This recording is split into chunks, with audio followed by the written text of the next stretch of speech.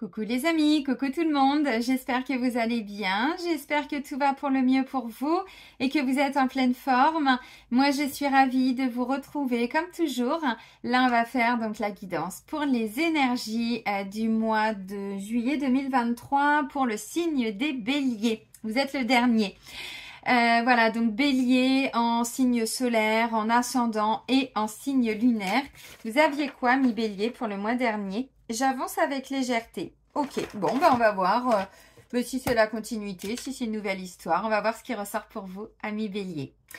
Avant de commencer, je tiens tous à vous remercier, vraiment un grand merci. Merci pour votre présence, merci pour tous vos likes et vos partages, vos commentaires, euh, voilà. Merci d'être là. Bienvenue à toutes les nouvelles personnes qui viennent d'arriver sur cette chaîne. Et merci si vous venez de vous abonner. Je vous rappelle que sous la vidéo, je vous mets le nom de tous les oracles et de tous les tarots que j'utilise et je vous mets également le lien vers mon site internet. Donc si vous souhaitez obtenir des informations me concernant, concernant les prestations que je peux proposer, il suffit de cliquer sur le lien qui est juste en dessous. Et si vous souhaitez prendre rendez-vous avec moi, c'est uniquement via le site internet dans l'onglet réservation en ligne. Il y a un agenda en ligne depuis deux ans et demi, donc c'est vous qui choisissez la prestation, euh, le jour, le créneau, l'heure, tout ça, tout ça, tout ça. Euh, là, on est sur début septembre maintenant et je le dis déjà hein, depuis quelques temps, mais je vais arrêter bientôt les guidances privées. Donc euh, jusqu'à la fin de l'année, je vais laisser, mais une fois que l'agenda sera bouclé, après, j'arrêterai les guidances privées. Je vais privilégier les soins et je pense que vous comprendrez pourquoi dans quelques temps. Allez, on va commencer avec le petit oracle des animaux de pouvoir. Bah oui, parce que ça va secouer, hein. Alors en France, mais dans le monde, vous vous doutez bien. Là, on n'est que sur la partie euh, émergée de l'iceberg. Hein. Donc oui, on va avoir besoin de soins, on va avoir besoin de prendre soin de nous parce que sinon, ça va être compliqué. Mais on va y arriver, on s'est incarné pour, donc il n'y a pas de souci. Allez, c'est le message de la fourmi pour vous.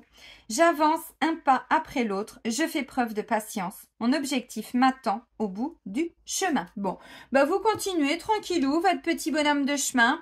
Euh, alors, seul pour certains, mais pas que, parce que la fourmi, elle sait aussi que toutes les personnes qui sont autour d'elle sont là pour quelque chose. Donc, euh, c'est le l'union fait la force avec la fourmi. Vous comprenez? Si elle était toute seule, mais elle pourrait jamais soulever euh, ce qu'elles peuvent toutes soulever. On a beaucoup à apprendre hein, de la fourmi. Observez-les quand vous en avez, vous allez voir. Mais c'est hallucinant. J'adore regarder les animaux parce qu'ils me bluffent en fait. Donc, on avance pas à pas, un pas après l'autre. La patience, ah bah c'est sûr que pour d'aller de là à là, ça prend du temps. En tout cas pour une fourmi. Mon objectif m'attend au bout du chemin. Donc, patience, rigueur, persévérance, et on y arrive. On va continuer avec euh, un nouvel oracle que je vais vous présenter.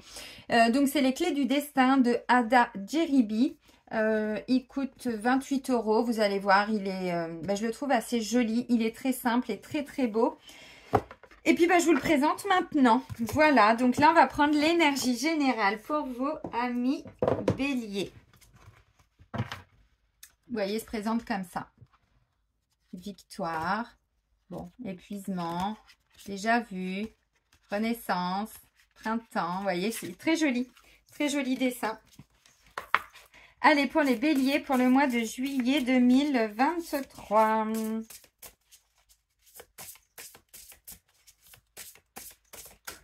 Ouh Ouh, badi Ouh, badi donc La passion Ouh, la vache Non vous êtes bélier, vous n'êtes pas vache. Allez, je me pourris, ça faisait longtemps. Libération en dos de deck, ne regarde pas en arrière, ta vie est devant toi. Bon, il y en a qui sont en train de guérir de quelque chose. Là, vous... Alors, vous apprenez que vous êtes guéri d'un cancer, vous apprenez que vous êtes guéri d'une maladie, de quelque chose. Vous voyez, pour certains, bah, clairement, c'est ça. Hein. Euh, pour d'autres, vous vous libérez tout simplement de votre prison mentale, de ce qui vous emprisonnait à l'intérieur de vous. Vous sortez d'une cage. Si vous étiez célibataire, bon, avec le message qui arrive, ça va plus être le cas très longtemps, voyez, patient. Donc, vous vous libérez d'une d'une peur, d'une fausse croyance. vous vous étiez empêché de, Et là, vous êtes en train de guérir de tout ça. Donc là, vous êtes comme ce petit oiseau qui est en train de prendre son envol. Alors, fourmi, euh, oiseau, bon, si vous vous libérez de votre cage, bon, bah derrière, on vous dit, oui, bon, patience, t'excites pas non plus la nouille, va pas trop vite, va pas trop haut, hein, tu sais pas encore trop voler. N'oublie pas que tu as été en cage pendant des années. Donc maintenant, il faut réapprivoiser ta liberté. Hein, petit bélier Mais c'est bien parce qu'on sait très bien, et ça je vais rien vous apprendre, que le bélier, il est enfermé dans son mental. Alors, il n'y a pas que le bélier, il y a le sagittaire, tous les signes de feu en fait. Euh, sagittaire et lion. Donc on s'est emprisonné. Alors attention, vous avez des grandes qualités, c'est pas le souci, on parle pas de ça là. On parle vraiment de cette libération parce que euh, oui, vous, vous avez un mode de fonctionnement où il y a beaucoup de choses qui sont bloquées en fait dans votre inconscient, dans votre mental, et c'est ce qui vous empêche de. Donc là, c'est bon, hein. De toute façon, la, la, cage, elle est ouverte, hein. Donc l'oiseau, il reprend son envol. Vous vous libérez de votre prison mentale. Donc derrière, bah, c'est le cœur qui parle. Quand le mental n'est plus aux commandes, le cœur peut parler. Mais le cœur ne peut pas parler tant que c'est le mental qui décide, qui commande, qui dirige, qui gouverne. Vous comprenez ce que je veux dire? Donc, une fois qu'on est sorti de sa cage, on vous dit, bon, calme-toi quand même, tu ne sais pas voler. Tu étais enfermé pendant des années. Donc, réapprends petit à petit. D'où le message de la fourmi. Lentement mais sûrement. On met des actions en place. Bon, c'est pas mal.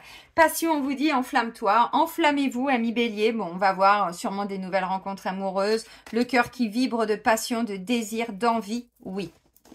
Oui, oui, oui et grandement oui. Allez, on continue avec le tarot Histoire de sorcière. Ça faisait un moment que je ne l'avais pas utilisé. Hein. Hmm.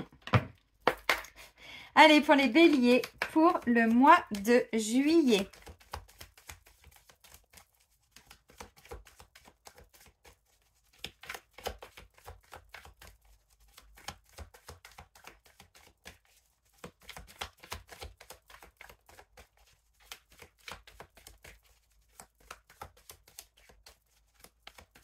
Allez, c'est bon, on a fait la coupe, on va chercher les messages. Bon.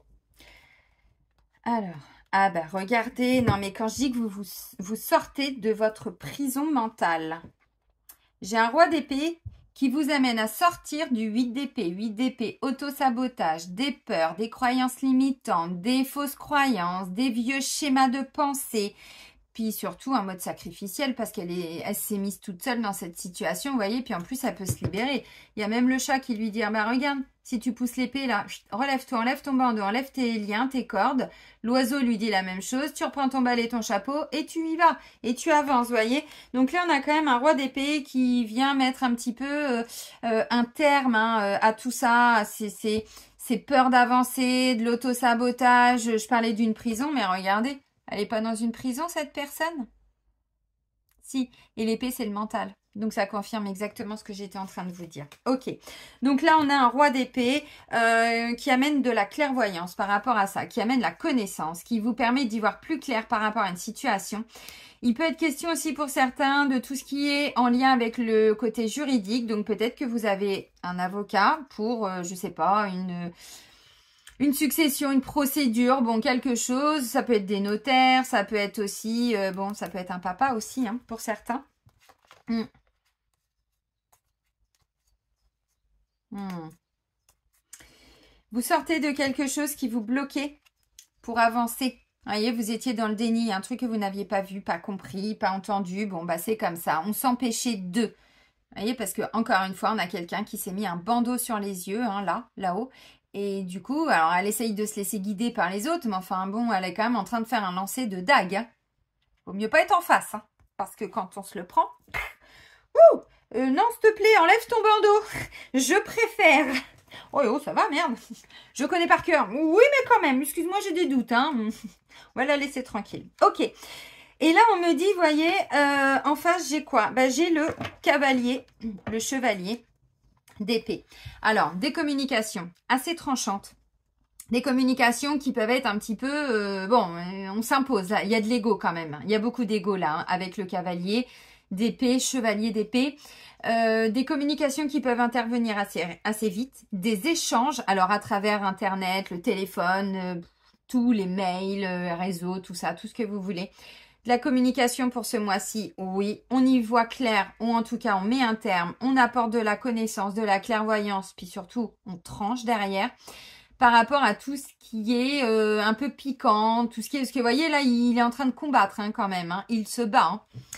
Donc, euh, bon. Hmm. Ok. Allez, let's go.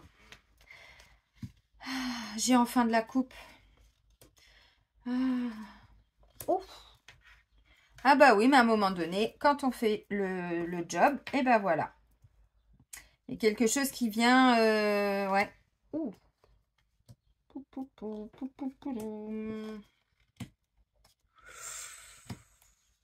Ouh, Eh ben dis donc, ça sent bon pour vous. Ah, je suis contente. Je pense que les mois précédents n'ont pas été simples parce qu'on a des béliers qui ont été complètement déstabilisés parce qu'ils n'arrivaient plus à maîtriser certaines situations. Dans le sens où, encore une fois, n'oubliez pas, votre mental qui vous avait emprisonné, vous êtes en train de guérir de tout ça. Euh, vous étiez bloqué dans un schéma. Je vous ai souvent dit, alors je sais que ça plaît pas, mais ça plaît pas à l'ego et c'est pour ça que j'ai pas beaucoup de béliers en rendez-vous, mais bon bah c'est comme ça. Hein. Peut-être qu'un jour, euh, je pense que là de toute façon la vie est en train de vous amener à, casser vos schémas et à redescendre dans votre cœur. Parce que encore une fois, c'est ce qu'on est venu incarner. Hein. Qu'on le comprenne ou pas, qu'on le veuille ou pas, Là, c'est notre âme qui est aux commandes et on est accompagné pour ça. Alors, vous êtes en train d'opérer une guérison par rapport à toutes les souffrances qui étaient bloquées dans le mental. Encore, toujours, ce mental. Toujours, toujours, toujours et toujours. Voyez 9 d'épée, on vous dit en plus pour certains, des fois, ça a pu être vraiment euh, compliqué dans le sens, alors c'est dans l'inconscient, mais je vous rappelle encore une fois que l'inconscient représente quasiment 95% de tout ce que l'on fait, de nos actions, de nos comportements, de nos pensées, de tout. Vous entendez mon petit chien? Voyez? Et ça, on n'en a absolument pas conscience. Donc, au lieu de dire, ben non, n'importe quoi, mais non, c'est pas ça, mais je sais que, je crois que... Non, stop, vous croyez pas. Là, le 9 d'épée, c'était bloqué là-dedans. Donc là, il y a un truc, il y a un déclic, il y a quelque chose, un grand bouleversement qui vient tout écrouler pour sortir de tout ça. Parce que là, c'était trop stressant, trop fatigant trop prenant, des angoisses, de l'anxiété, du stress. Euh, je dis pas que ça a été ça tout le temps, mais c'était là, c'était récurrent, voyez. Et la tour, bim bam boum badaboum, tout s'effondre. Il y a un déclic, vous comprenez quelque chose. Bon, moi je vois une rencontre amoureuse passionnante. Alors on a 1, 2, 3, 4, 5, 5 arcanes majeures. vous avez vu? 5 arcanes majeures dans votre tirage pour le mois de juillet. C'est pas un petit mois pour vous. Quand on dit que la passion arrive et que vous vous libérez de votre prison mentale, c'est rien de le dire, les amis. La carte centrale, c'est quoi? C'est l'as d'épée. Un renouveau, un nouveau. J'ai deux as. Donc, il y a bien un nouveau départ? Oui, moi, je vois des rencontres magnifiques. Des personnes dans votre entourage. Alors, des rencontres amoureuses, oui, mais des personnes que vous aimez. Donc, ça peut être aussi euh, des amis, euh, des nouvelles relations amicales. Vous voyez, ça peut tout à fait être ça. Ok. On commence avec un roi de coupe. Il y a des associations, je vais aller vous décrire aussi ce que je vois dans les associations euh, d'arcanes majeures, parce que c'est important. Hein. Attention, les, les arcanes majeures sont pas des petits messages, c'est important. Le roi de coupe, on est sur quelqu'un qui est très stable émotionnellement, qui a beaucoup d'amour à donner, à transmettre, à partager, mais il se suffit à, lui-même. Vous voyez, un super papa, un super mari. Euh, voilà, quelqu'un qui est dans le partage, qui est euh, dans la maturité émotionnelle.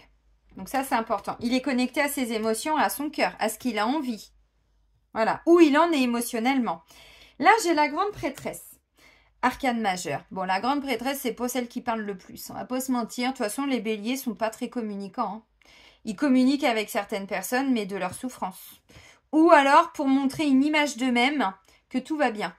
Mais symboliquement, les béliers sont pas forcément des personnes qui communiquent le plus. Et c'est bien dommage parce que vous en auriez des choses à dire. Alors pas que euh, par rapport euh, aux professionnels et tout ça. Non, parlez de vous, parlez de vos émotions, parlez de l'amour que vous vous portez. Voyez c'est pour ça que là, on vous reconnecte à l'amour. Et c'est une très bonne chose.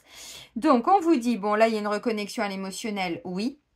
Ceci étant, la grande prêtresse, c'est vraiment, vous voyez, une énergie. Bon, c'est quelqu'un qui fait les choses dans son coin, seul, qui aime la solitude, qui parle pas beaucoup parce qu'elle est dans. Alors, dans l'être, mais dans le sens où elle est dans le ressenti. Vous voyez, bon, elle a ses petites lumières pour la guider, elle a tous ses bouquins derrière, elle a ses tarots, sa boule de cristal, les runes, le chat. Bon, elle est à l'écoute de ses sens, elle est à l'écoute de ses intuitions, elle est à l'écoute des messages du subtil. Donc, les cartes, elles disent quoi? D'accord, les runes, la carte, ta, ta, ta. Elle est plutôt dans tout ça, vous voyez? Donc, il y a une reconnexion à toute cette dimension aussi pour certains, et tant mieux. Et du coup, vous allez, mais alors, comprendre quelque chose qui va s'effondrer. C'est un déclic. Alors, qu'est-ce qui s'effondre, les amis? C'est ça. Ça, j'ai envie de dire, personne n'en veut dans sa vie. Donc, un déclic par rapport à une angoisse, par rapport à quelque chose qui a été difficile psychologiquement, qui peut encore une fois mais dater de je sais pas de votre naissance, qui peut dater d'une situation que vous avez vécue il y a longtemps. Ça peut être des angoisses par rapport aux financiers, des, des travaux à faire, on n'a pas d'argent, ça prend la tête et machin, etc. Bon, peu importe. Peu importe l'origine de cette situation du 9 d'épée. Le 9 d'épée, on est vraiment sur des angoisses, sur des anxiétés, sur du stress, sur des choses qui peuvent parfois empêcher de dormir ou en tout cas qui reviennent parce qu'on n'a pas été les libérer. Donc avec la tour, on vous dit bim bam boum badaboum. Allez hop, euh, là, euh, on arrête de se prendre la tête. Ceci étant, ça peut aussi être quelque chose qui intervient rapidement. La tour, elle prévient pas quand elle arrive. Hein. Elle prévient pas. Par contre, ce qu'on sait avec la tour, c'est que derrière, on ne peut plus faire comme c'était avant. Pourquoi? Parce que, regardez la gueule de cette tour. Enfin, franchement, il manque pas un peu des pierres là? Il manque pas toute une partie si. Comment on pouvait construire là-dessus? Comment on pouvait même tenir debout? C'était pas possible. Donc, boum Bon, euh, les tours, ça nous rappelle euh, malheureusement un triste moment de l'histoire quand même. Hein. On a vu les conséquences. Enfin, ça, ça a été créé, mais nous, on a vu les conséquences. Vous comprenez? Et derrière, bah, ça amène du stress. Donc moi, je pense que vous allez faire une rencontre. Il y a un événement qui va intervenir dans votre vie qui va réactiver du stress. Ceci étant, c'est pour que vous compreniez quelque chose parce que derrière, il y a une guérison qui est opérée. Ensuite, on a le diable. Oh, bah c'est mignon tout plein tout ça. le diable nous parle de passion, d'envie, de désir. Il peut être question aussi, euh, attention, j'ai peur de me faire manipuler. J'ai peur que cette personne euh, ne soit pas euh, ce qu'elle dit être, ce qu'elle me montre. Voyez Alors, ça peut être vous avec vous-même. Il peut être question un petit peu de manipulation. Attention, moi, je vois plutôt des peurs.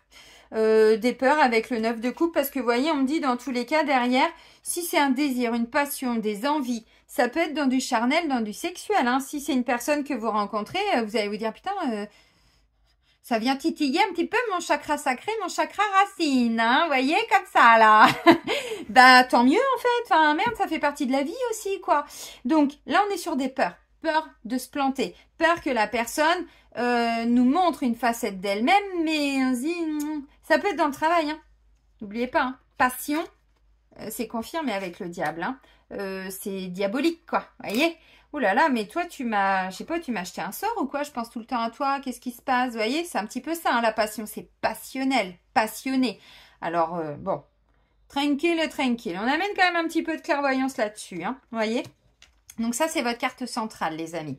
Donc, on ne fait pas les choses n'importe comment. Ceci étant, vous commencez à avoir de plus en plus de déclics. Vous vous libérez de quelque chose. Moi, je vois une opportunité, une, opportunité à travers une guérison, à travers un équilibre entre l'émotionnel, le mental. Vous voyez, vous rééquilibrez les choses, en fait, avec l'étoile. Euh, oui, parce que le roi de coupe, il sait écouter ses émotions. Il est très stable émotionnellement. Voyez? Bah oui, mais du coup, il fallait se libérer de sa prison mentale. Donc, on est reconnecté au cœur. Donc, on essaye juste de, trouver un équilibre parce que, vous voyez, elle, elle est connectée aux énergies telluriques, la Terre, et elle est connectée aux énergies cosmiques. Donc, l'alignement, le parfait alignement. Ça nous parle aussi d'un espoir. Ça peut nous parler d'une relation amoureuse qui est destinée parce que j'ai un 6 de coupe derrière. Donc, tout ce qui est âme sœur, flamme jumelle, âme jumelle, peu importe les termes, mais un couple destiné, c'est-à-dire un couple sacré au niveau énergétique, voyez, euh, au niveau spirituel. Ça peut être ça. C'est pour ça que là, euh, il y a des déclics, il y a des prises de conscience. Vous comprenez quelque chose avec l'as d'épée. Euh, n'oubliez pas qu'il peut être question de communication assez franche, assez tranchée, qui peuvent intervenir assez rapidement. On avait le cavalier d'épée, hein, je vous ai dit, celui-là, euh, euh, bah, il y va, il va à l'affront. Euh, bon, beaucoup de communication aussi. avec l'as d'épée, on me dit oui, mais vous mettez de la lumière sur ce diable parce qu'il y a des peurs, peur de se faire avoir, peur d'être manipulé, peur d'être trompé. Et en même temps, on ressent beaucoup de désir, d'envie et de passion. Ça, c'est beau. Donc, du coup, l'ASDP, bon, on part pas n'importe comment. Euh, il y a de la clairvoyance, on y voit clair. Euh, il y a la connaissance maintenant. Donc, ça peut être une nouvelle ouais, une nouvelle rencontre, oui, parce que j'ai un as de coupe ici, mais beaucoup plus beaucoup plus en conscience. Vous voyez, on n'est plus sur ce qu'on a connu avant. Donc moi, je vois un sacré déclic en vous. Il y a une guérison qui est en train d'être opérée. Ok. Euh, mais vous vous laissez guider quand même parce que j'ai la grande prêtresse et j'ai l'étoile. Peut-être que pour certains, vous aviez fait des demandes à l'univers. Vous aviez demandé des choses. Bon, et là, à mon avis, vous allez commencer à récolter. Ensuite, j'ai quoi? J'ai le chariot. Le chariot, on vous dit attention les amis, parce que là, il y a un changement de direction, mais ça va vite. Hein. Je vous ai dit, la tour, elle prévient pas quand elle arrive. Non, ça c'est clair. Le chariot, derrière, ça vous demande de réagir. Alors, pas de réagir par le mental. Oui, mais tu m'as fait ça. Non, non, non, non, non, non. De mettre une action en place suite un déclic, suite à un chamboulement, suite à, je sais pas, cette tour-là qui va arriver dans votre vie, voyez? On comprend un truc, euh, on a un éveil qui est douloureux, mais l'éveil est toujours douloureux de toute façon. Un éveil, c'est on comprend qu'une situation n'est pas exactement ce qu'on croyait. Je prends un exemple, je viens de vous dire la tour. Quand j'ai compris que le 11 septembre, alors je sais qu'il y en a qui ne sont pas encore dans cet éveil-là, mais peut-être dans quelques temps. Quand j'ai compris que le 11 septembre, comme tous les attentats en France, dans le monde, les guerres ont été créées de toutes pièces par tous les membres du gouvernement, des Illuminati, des francs-maçons, des tout ça, j'ai eu mon éveil en 2015. Ça a été tellement douloureux que j'en ai pleuré pendant quasiment un mois et demi tous les jours. Je ne voulais plus regarder de vidéos. Je me suis dit, il me raconte des conneries, c'est pas vrai, c'est les complotistes, c'est tout ça, etc. Sauf que derrière, ça m'a amené à, sortir du système, à sortir de cette manipulation dans laquelle j'étais complètement, mais euh, le fonctionnement du gouvernement. Moi, je croyais que tout le monde était là pour euh, les petits villages, tout ça. Tout le monde était là pour apporter, euh, voilà, des belles choses pour les citoyens, pour non, que ninis, on n'a plus rien à foutre de nos gueules. Ça, on l'a bien vu avec le confinement. Franchement, laisser les gens mourir tout seuls à l'hôpital, sans les membres de leur, famille et tout ça. vous croyez que qui a fait tout ça. Vous voyez Les déclics qui amènent derrière des compréhensions qui sont difficiles, mais c'est pour sortir d'une illusion. Mais oui, les amis, c'est tout à fait ça. Donc là, on vous dit derrière, vous, vous allez mettre des actions en place. Donc pas réaction parce qu'on est en colère, quoique je vous ai dit passion, il peut y avoir de la colère. Des réactions en termes d'action, c'est-à-dire que vous allez actionner des choses derrière. Un déménagement, un mouvement, des sorties, des visites, oui. Euh, alors, pour certains, ça peut concerner les enfants, des choses que vous allez mettre en place. Vous allez vous poser 50 000 questions concernant les enfants.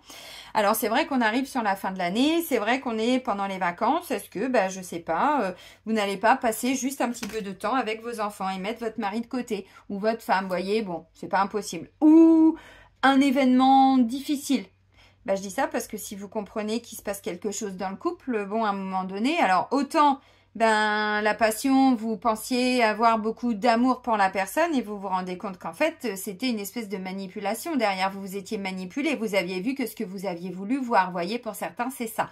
Pour d'autres, non. Vous êtes avec la bonne personne.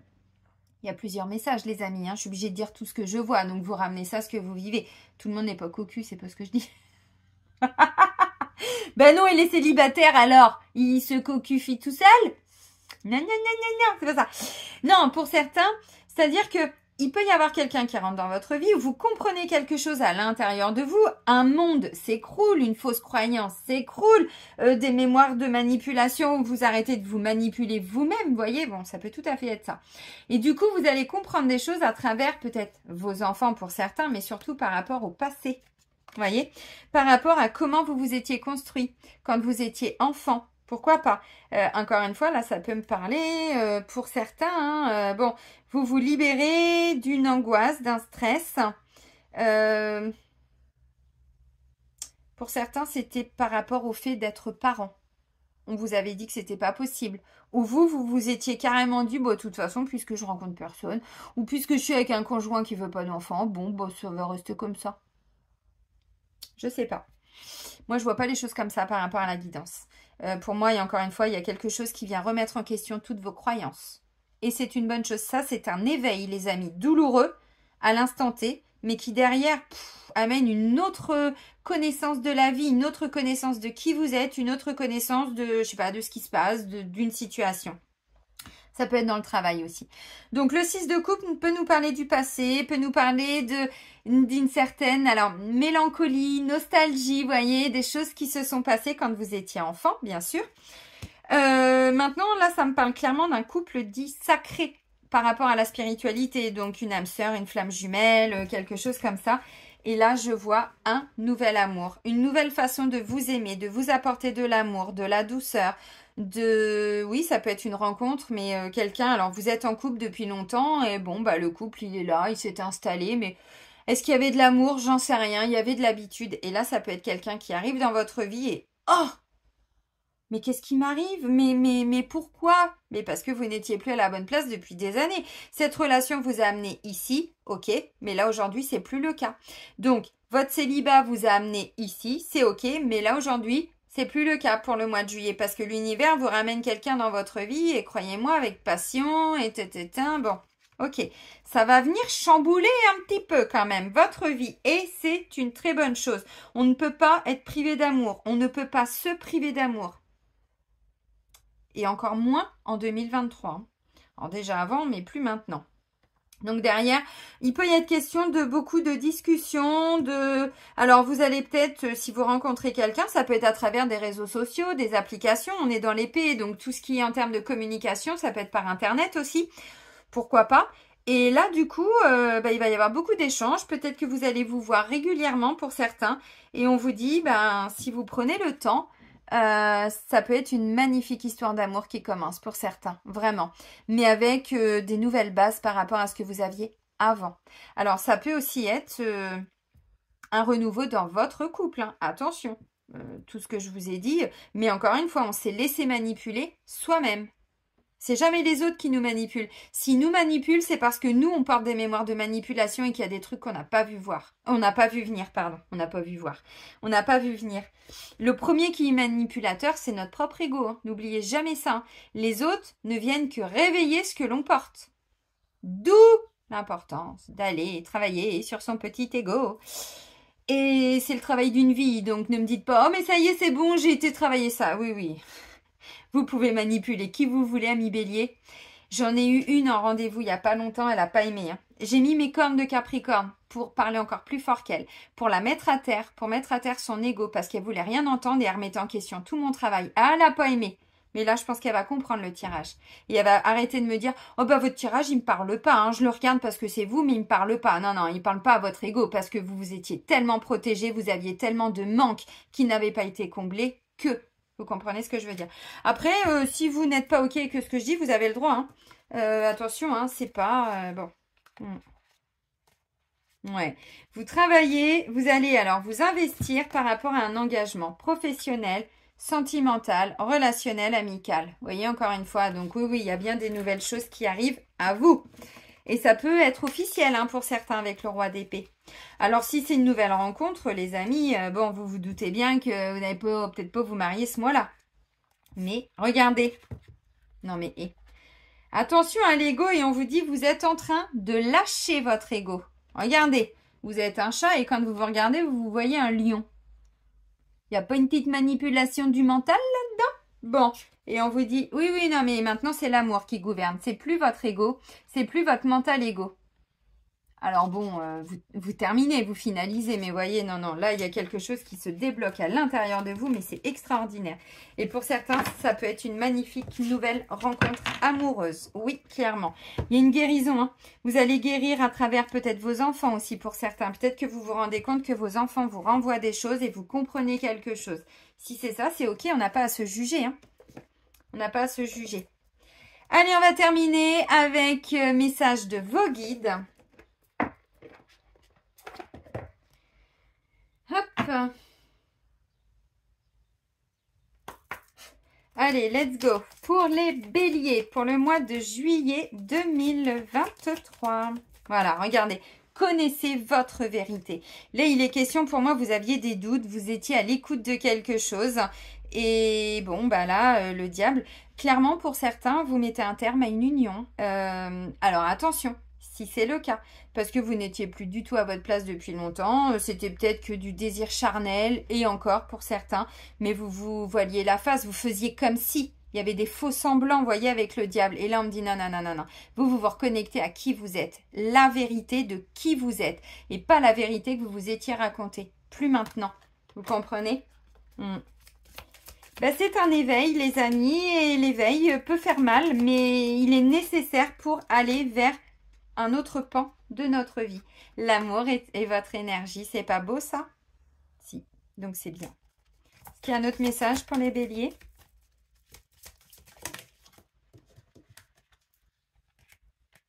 Hmm. Le calme n'est pas une faiblesse et comprenez votre corps. De toute façon, avec le 9 d'épée, je vous l'ai dit, c'est bloqué dans le mental. Ceci étant, ça peut vous créer des petits soucis. Ça a pu vous créer des maladies. Je vous ai parlé de libération, de guérison. Si vous êtes malade, si votre corps est affecté, je vous en supplie maintenant en 2023, contactez des thérapeutes. Allez-y. C'est pas une honte. On a, le droit hein, d'être vulnérable. Hein. Il n'y a pas de faiblesse. Hein. Euh, être malade, avoir des difficultés, c'est pas un signe de faiblesse. Hein. Vous avez le droit de le reconnaître et on passe tous par là. Hein. Vous comprenez et vous prenez si vous... Voilà. Hein Vous avez compris. Euh, il y a un autre truc qui me vient.